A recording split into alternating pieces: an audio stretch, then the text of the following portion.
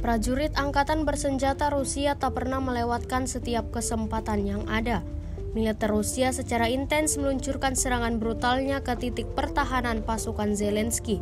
Rekamannya ramai beredar di media sosial Telegram pada Senin 30 Oktober 2023. Dalam rekaman tersebut dapat dilihat bagaimana tentara Rusia dengan gagah berani menyerbu titik pertahanan kuat Ukraina, menembaki mereka dengan peluru-peluru mematikan, seperti yang terlihat dalam rekaman, tidak diketahui pasti seperti apa nasib mereka selanjutnya. Video ini viral dan menuai beragam komentar dari warganet.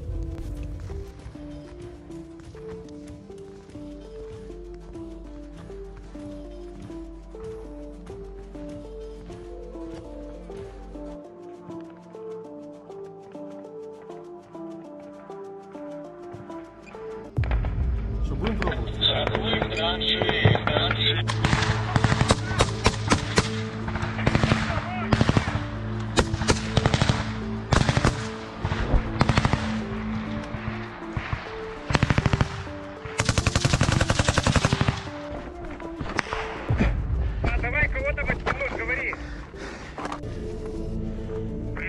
внимание на защиту. Он живот. А, Давай.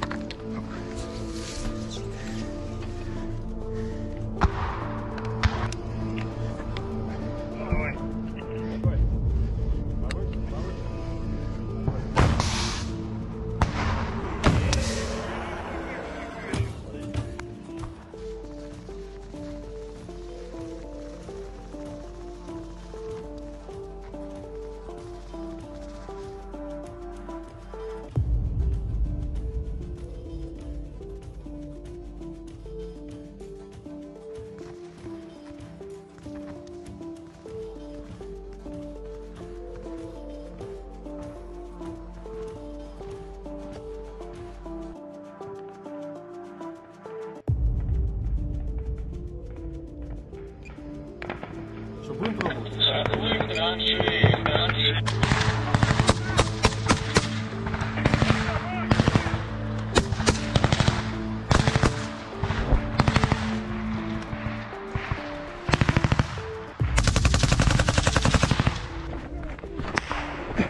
А, давай кого-то подтянуть, говори.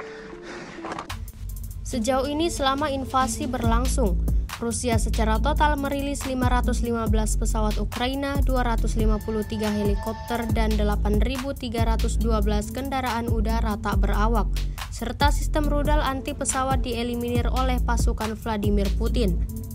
Sementara dari kubu Kiev, Kementerian Pertahanan Ukraina merilis 660 tentara Rusia dieliminir dalam sehari terakhir. Total 299.080 prajurit Federasi Rusia meninggal sejak awal konflik hingga hari ke-614. Download Tribun X sekarang. Menghadirkan lokal menjadi Indonesia.